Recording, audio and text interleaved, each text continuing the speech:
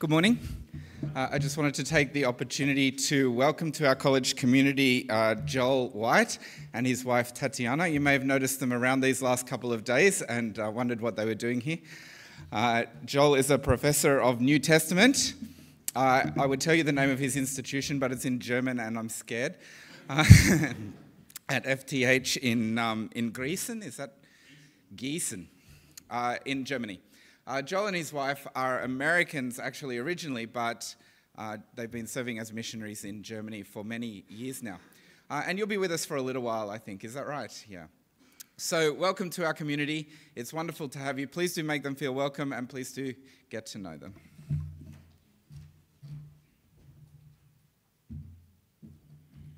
Okay, let's bow our heads and pray.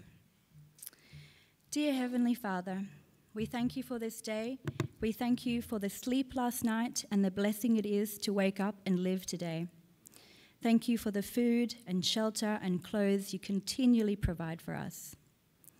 Today we pray for our families. We thank you for all of those who have raised and cared for us since we were children. And thank you for the blessing it is to marry and create new families. We pray for the families of all of our students.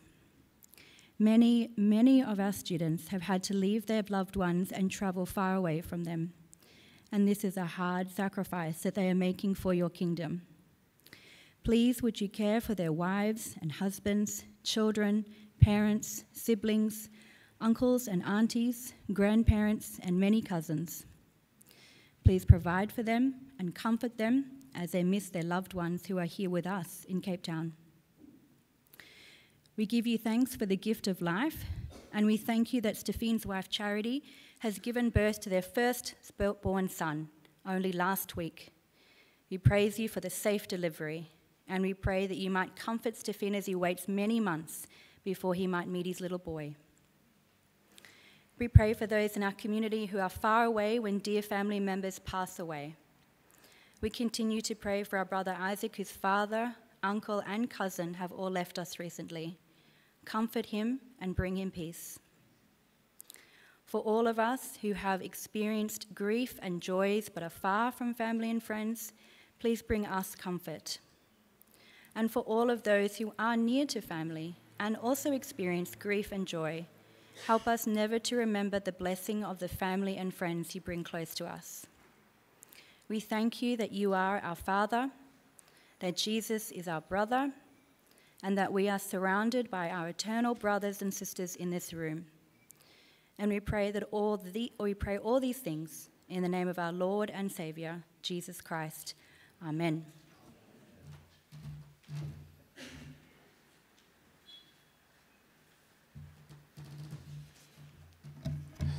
Well, good morning, the righteous remnant, still here.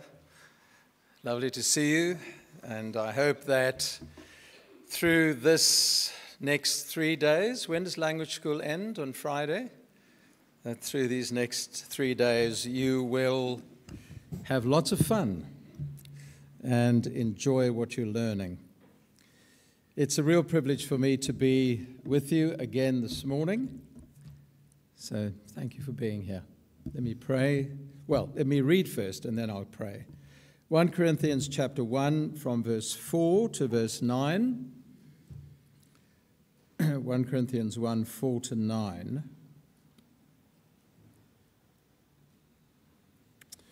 Paul writes, I give thanks to my God always for you because of the grace of God that was given you in Christ Jesus, that in every way you were enriched in him in all speech and all knowledge, even as the testimony about Christ was confirmed among you, so that you are not lacking in any gift as you wait for the revealing of our Lord Jesus Christ, who will sustain you to the end, guiltless to the day of our Lord Jesus Christ.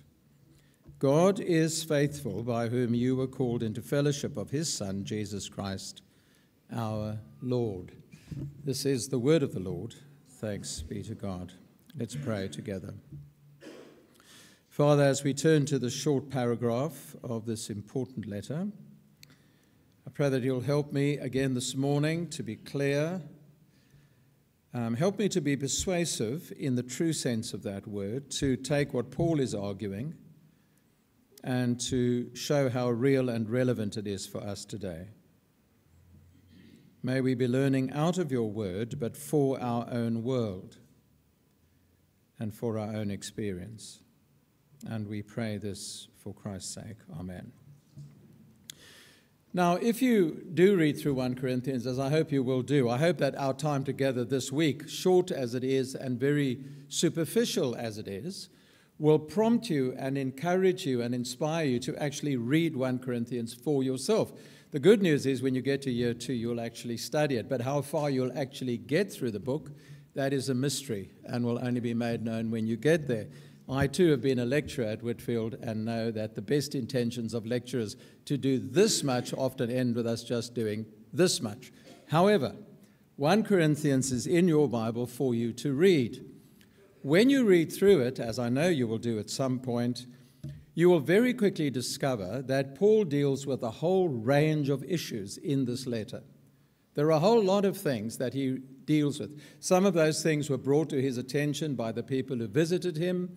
Some of those things arose in response or through a letter that they wrote to him. So there are a whole range of things issues about food offered to idols, issues about gospel and culture, issues about the gospel itself and what lies at the heart of the gospel, issues about marriage, remarriage, a whole host of things. I think, however, though, that among the many issues and questions that Paul deals with in this letter, none, in my experience at least, yours might be different, but in my experience at least, none has captured the attention of contemporary readers of 1 Corinthians more than the issue of spiritual gifts. If I was to ask you to raise your hand around the issues that you think are most clearly talked about from 1 Corinthians, I'm sure that if I said spiritual gifts, all of you would, or most of you would raise your hand. The question of these gifts, what they are, what their role is, what their purpose is in the church today. In fact, so much so that in our time, still, we have whole groups of Christians defining themselves precisely on the basis of the word that Paul uses to talk about spiritual gifts, the charismata. So we have in our circles, probably in yours too, people who talk about themselves as either charismatic or non charismatic. Now, not the question of spiritual gifts was of importance to Paul and to the church in Corinth, I think we can see from two things. We can see it from the sustained treatment that Paul gives it in the famous chapters 12 through 14, where Paul actually focuses his attention on, well, pneumatica, spiritualities or spirituals, and charismata, spiritual gifts. And we won't dwell on that now, but it's very important to see the shift of language that Paul uses in chapter 12 and then on through 12, 13, and 14. So, three chapters of sustained teaching chapters in which some of Paul's strongest rhetoric is to be found. We spoke about that in terms of pride. Remember, love is not proud, implied, you Corinthians are. Love is not arrogant, implied, you Corinthians are. So 12 to 14 is the famous part of 1 Corinthians when it comes to spiritual gifts. But I think the fact that this was important to Paul and to the Corinthians can also be seen by the fact that he raises the issue of giftedness in the very first chapter. Remember what we said at the beginning two days ago?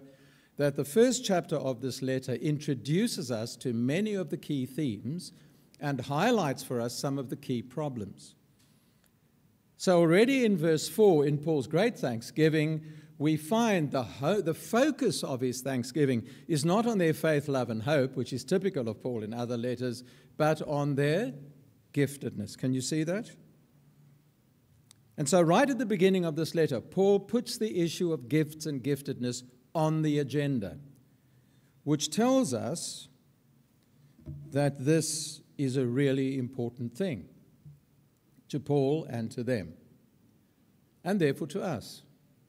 And it also tells us that probably this issue of gifts had its own part to play in the problems that existed in Corinth, both the problems that they had within the community But also, and don't forget this, the problem that they had with Paul. Yesterday was rather inadequate from my side because, well, for all sorts of reasons.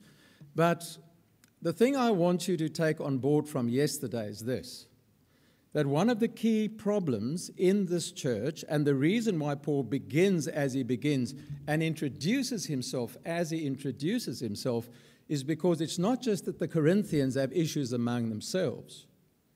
That is true, and there are divisions. The issue is that the Corinthians have problems with Paul. And that is very clear, as I said yesterday, by the fact that he highlights his own apostolic authority at a time when the church knew him well enough for him not to have had to say any of that. When you read the Bible, don't only ask what it's saying, but why it is saying what it's saying. You with me? Why is it saying this? Why does Paul go to the trouble of saying, called by God, an apostle of Christ? Well, rest of the New Testament, we find he only ever says that when people have a problem with him. Even if he doesn't know the church, if there's an issue with other leaders, other teachers, like in Ephesus, men coming and drawing away disciples after themselves, Paul wants to assert his authority. And in this battle between the Corinthians and Paul, the issue of gifts and giftedness plays its part. So then, what do we learn from these verses 4 to 9 of 1 Corinthians about the question of gifts? I think the first thing we learn in verse 4 is that Paul is genuinely thankful, not just for the Corinthians, but for the gifts that God has given them. Can you see that? I give thanks to my God always because of the grace that He has given you, that in every way you were enriched. It's not just I give thanks to my God for the grace that is given to you because you're Christians. Paul is thankful for them as Christians. But the way in which verse 4 and verse 5 read is that part of the reason for Paul's thankfulness is their giftedness. You with me?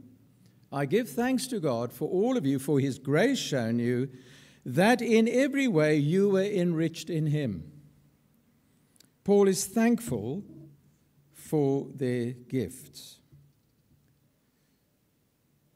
Thankful for what he saw among them, and thankful for the massive amount of giftedness that was real in that church. So, whatever else verse 4 and verse 9 are designed to accomplish, can I say that they are certainly designed to affirm the reality of the gifts that the Corinthians enjoyed, to give genuine thanks to God for them. So we do not find Paul doubting the existence of these gifts. Yeah? We don't find Paul arguing about whether there are such things or not. And we certainly, and this is very important for when you engage with people who may see things differently from you on this point, we certainly don't find Paul using the idea or the word charismatic as an insult or a pejorative term. Don't ever do that. Don't ever use that word in a negative, pejorative, judgmental, writing off way of other people who have different views from you on this issue. Yeah? Paul never does that. That the Corinthians have got a wrong view of their gifts will become very clear, and 12 to 14 makes that absolutely clear. That the gifts aren't always used well, that's clear, and 12 to 14 make that clear. But Paul will not use these words other than in the context of gratitude to God. So there's the lesson for those of us who consider ourselves to look down our noses at charismatics. Don't do that. It's not a Christian attitude, actually, brothers and sisters. I speak from my own experience because when I was at Bible college, there were all sorts of books around called Charismatic Chaos and all of these kinds of things in which the poor charismatics were hammered left, right, and center by those who knew better. Now, I have my own views on the gifts and their use, don't, mis- don't be mistaken. But I have to say that my attitude then as a theological student was dishonoring to Christ. It really was. And I was reminded of that I was preparing this week. That Paul will not use the word charismatic as a swear word. Secondly, what do we notice in these verses? Well, not only is Paul thankful for these gifts, not only does he actually speak very positively about these gifts, but he also, and I suppose the best way to describe this is to say that Paul underlines, as it were, in black ink through repetition of words, the fact that the gifts are precisely that. That they are gifts. Now, that might, you might say, well, Mervyn, thank you. I got up this morning, I really didn't feel like coming to chapel. Um, I've got all sorts of Greek and Hebrew to do, and here I am because I'm a good, decent, friendly person. I thought I'll come and support you. I'm sitting on my chair in chapel, and what you tell me is that 1 Corinthians tells me that gifts are given. Thank you very much for that. I could have worked that out over coffee at Hanson Lloyd. Okay. Well, thank you for that. How do we know that Paul is emphasizing the givenness of the gifts? Well, I think we know it, first of all, because he gives thanks for them, right? The whole thing is cast within the context of thankfulness. And Paul is genuinely thankful, but why does he tell the Corinthians that he's thankful? Why doesn't he just say to God, I'm thanking you, God, for the gifts you gave them? Why does Paul tell them that he thanks God for the gifts that God has given them? I think thankfulness creates the context in which givenness is understood, right? Now, I don't know how you were raised or what context you were raised in. I'm sure in this room, many, many different contexts. But I'm sure that the influential person in your life, although most of you are too young to remember what letters are, and it wouldn't do you any good now either because they don't get delivered.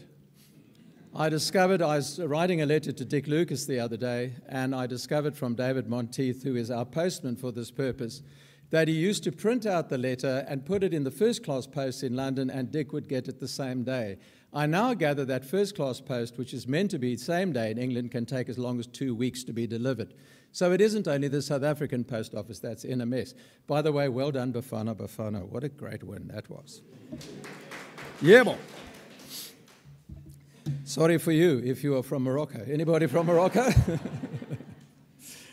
yeah, well, you know, we win so, so seldom, we should crow when we do win, right? What in the world am I talking about? I have absolutely no idea. Oh, yes, never mind. So, the thankfulness that Paul has, this is the problem when you talk nonsense, you distract yourself in your own sermon. Don't do that. So, here is Paul thankful for this gift, but also it's the emphasis on the repetition here. Notice the grace, this gift of God, that was, verse 4, given, that in every way you were enriched, there's a passive, so that you are not, verse 7, lacking in any gift. Grace given gift all of which stresses that whatever the Corinthians had, it was a gift, to state the obvious. It was a gift. Now, I think, in fact, I don't just think, I think I know, that the reason that Paul in this first chapter is stressing the givenness of the gifts is because the Corinthians have forgotten that gifts are given. And they have begun to think of their gifts in another way. If you ever get time to do 1 Corinthians chapter 12 and Paul's use of pneumatica versus charismata, 12.1 should be translated now concerning spirituality. Just turn to 12.1, will you? And even if you won't, just turn there. Isn't that a funny thing we often say? Let's pray. I often want to say, well, let's not. Shall we turn there? No, let's not. So please turn to 1 Corinthians 12. Look at verse 1. Most translations, I think, have now concerning spiritual gifts, yeah? It's not the same word that Paul uses later on for spiritual gifts, charismata. It is now concerning spirituals or spiritual things or spiritual people, pneumatica. I want you to be uh, not to be uninformed. When you were pagans, you were led astray to mute idols, however you were led. I want you to understand that no one speaking in the Spirit of God says, Jesus be cursed. We won't discuss that now. And no one can say Jesus is Lord except by the Holy Spirit. That's the thing I want you to notice. No one can say Jesus is Lord except by the Holy Spirit. So, Paul gives you in these opening verses of chapter 12 a definition of spirituality. The Christian is a spiritual person. So, whatever else we think about these things, the one thing we cannot do is say, well, X, Y, and Z gifts mean you have the Holy Spirit, Q, R, and S gifts mean you don't yet have the Holy Spirit. Right? That would be a grave error. As bad as looking down our noses on the charismata. To see these things as a cause of boasting as a sign of superiority. Oh, I have this gift, I've arrived, I'm superior to you. What a load of nonsense. Paul won't have that. He won't have giftedness confused with spirituality. Do you see the point? Giftedness is just giftedness. Spirituality comes from belonging to Christ. If you belong to Christ, say Jesus is Lord, well, that is the sign that you have the Spirit. But from that one Spirit come many different gifts. And to use the gifts as if they were talents, to confuse giftedness with turning it into talents that we have, and therefore boasting about it, well, that is a massive, massive problem. So, on the one hand, Paul is thankful for the gifts and will not use the word charismata as an insult. On the other hand, Paul is thankful for the gifts, and he will not allow the Corinthians to use the gifts as measures of spirituality or as indications of superiority. You with me? Yep. Still awake? Yep. Number three, this one might take a little bit of convincing. So please engage brain and follow with me.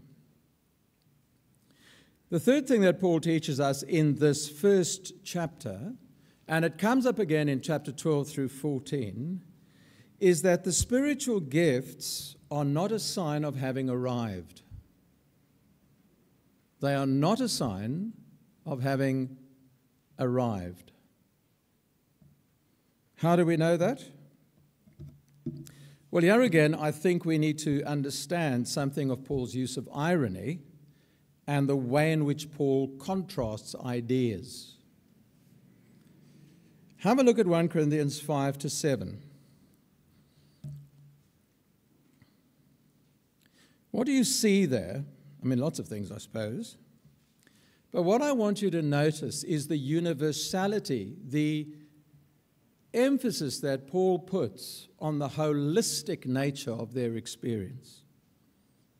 Even as you were enriched in him, in all speech and all knowledge. Verse 7 so that you are not lacking, right? all speech, underline, all knowledge, underline, not lacking in anything. These Corinthians have got it all. And then, verse 7 as you wait for the revealing of Christ. You have it all, yes but having it all does not mean that you've already arrived. Now, there are lots of other things going on in 1 Corinthians that point us in this direction. Their weird view of the resurrection. We are already raised with Christ, they say. It's not that they didn't believe in a bodily resurrection for Jesus. It's just that they thought that his resurrection meant their resurrection in the fullness of the kingdom, your best life. Now I've arrived. No, you haven't. At the end of 1 Corinthians 13, those infamous verses in which people argue for or against cessationism, the ending of the gifts.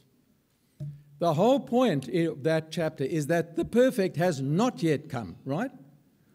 I now I am like a child. I see like a child. I think like a child. In other words, for all your gifts, you are still what?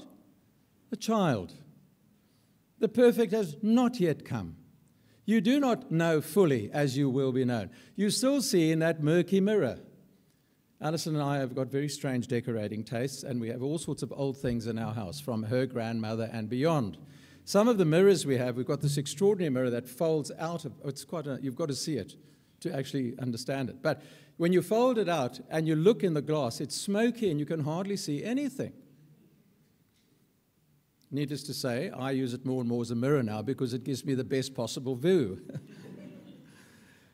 Nevertheless, when you look in it, you don't see clearly. Paul's point to them is yes, you have all these gifts. Indeed, you may think that you already speak the language of heaven, the gift, the language of angels. But let me tell you something, Corinthians, you have not yet arrived. You are far from having arrived. In fact, you're not even grown up yet. The Corinthians thought that their gifts meant that the kingdom had come upon them in its fullness.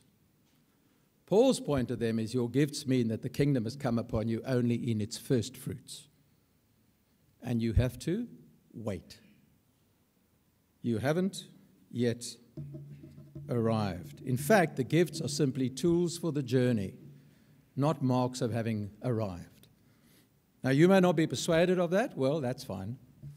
Go and do the work for yourself and see what you think. Number four,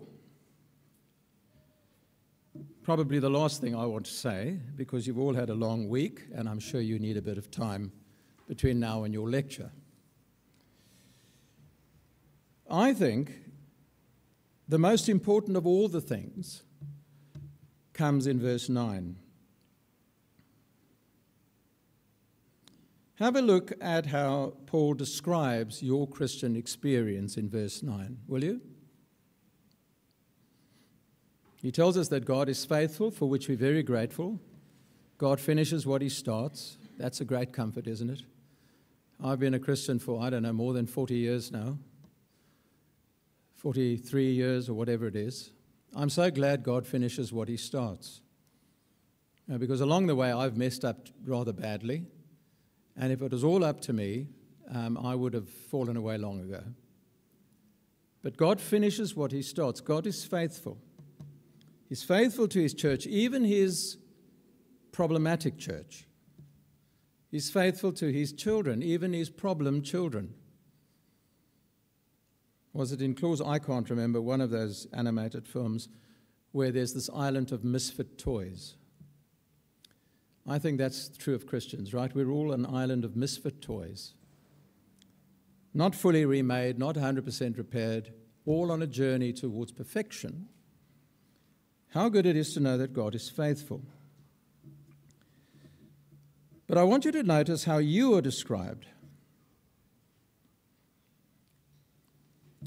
You are called into the fellowship of his Son. Now, that certainly means that you are called into fellowship with his Son. Remember what we saw at the end of yesterday? We dropped in some bonus material. Mind you, that you only find on DVDs, and most of you haven't got a clue what a DVD is. Nevertheless, remember 1 John, where John writes and says, We tell you this, what we have seen and heard, so that you might have fellowship with us and our fellowship with us to the Father and with his Son, Jesus Christ. So, that little throwaway line yesterday that the way you and I have fellowship with God today is by having fellowship, well, let me go backwards, by having fellowship with the apostles and their writings. That's how we know God and meet him, right? Through his word, his written word. So, God who has called you into the fellowship of his Son, Jesus Christ. That does mean that as a Christian, you are called into fellowship with Christ. And I hope that that is your experience. Just because you're at theological college doesn't mean that you have to step away for three years from your devotional life. Okay? Your exegesis classes are not going to do it for you. You actually need to read your Bible and say your prayers as a Christian. Before you are a theological student, you are a Christian. And you are called into fellowship with the Son of God, Jesus Christ. That is a massive privilege. You, I mean, I'm sure you know how, what a great privilege that is, right? For those of you who are raised in a Christian home, it's probably something you've always known. For me, becoming a Christian in my mid 20s from a very wayward and rebellious life, that is an extraordinary thing that I, being who I am, Mike reminded us yesterday of the grace of God in this, that I, being who I am, can actually be in fellowship with Christ is an extraordinary thing. But the fellowship of Jesus Christ here is not just about you and Jesus. Paul's use of that language here and throughout his writing is to remind you that you and Jesus happens in the const- in the context of others in Jesus. When you are called into the fellowship of Jesus Christ, you're called into the church. The other day, I had a burger and a beer, if I'm allowed to admit that, with a long standing friend who's given up on church. He tells me, and I think he really is still a Christian, but he's given up on church because the church has let him down. I want to say to him, Well, what did you expect? You were part of it. I'm part of it, so what did you expect? No, no, the church will absolutely let you down. Make no mistake about it. This college community is going to let you down. Perhaps it already has. But understand that when you are called to Christ, you are called into the fellowship of his people. Diane spoke about that in her prayer this morning. I wonder if you noticed. We didn't collude. I'm going to say this, Diane, please pray that. She prayed as she felt led, and in that prayer, there was a very clear reference not only to your family, some of whom were very far away, but to the fact that we are a family. So, whatever gifts God has given you, He has given them to you not for boasting, not for burying in the sand, but for using in blessing and serving the family. It is in the context of gifts that Paul speaks about us being called into the fellowship. And what Paul anticipates here in verse 9, he unpacks in 12, 13, and 14, where he keeps reminding the Corinthians that gifts are for building up. So, no negative comments about, comments about charismatics, no boasting about your gifts, no thinking that you've arrived just because you're gifted. Thankfulness, not pride, is the response to gifts. And by the way, Paul just lists some of the gifts, but I think they're far wider than the list that Paul gives in Corinthians, right? And above all, whatever gifts God has given you, remember that He has given them for use among your brothers and sisters for their good. Amen to that? Let me pray. Father, as we think about these important things and some of the division that has been caused in your church down the ages and worldwide, precisely over this issue. We pray that you will forgive us where we have made the question of gifts and spiritual gifts a cause of pride, a cause of arrogance, a cause of judgment, and where we've sat on our gifts rather like the man burying his talents in the sand and where we have not used the gifts that you have given us for the building up and service of one another. Please forgive us for that. Thank you, Lord, for each Christian in this room and for every gift that you have given to them. And we pray that as they enjoy these gifts, we may share in the blessing of their use. Pray for today's teaching, for all who learn and for all who teach, that it may indeed be a day of fellowship. And we pray this in Jesus' name. Amen.